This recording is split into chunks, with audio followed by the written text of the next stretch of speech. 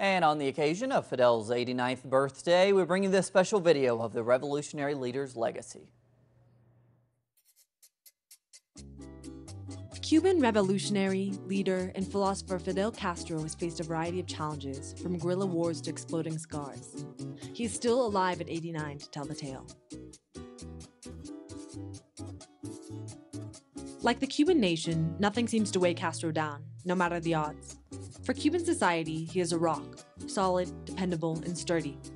This is no less true on his 89th birthday, which is commemorated across Cuba and the world this August 13th.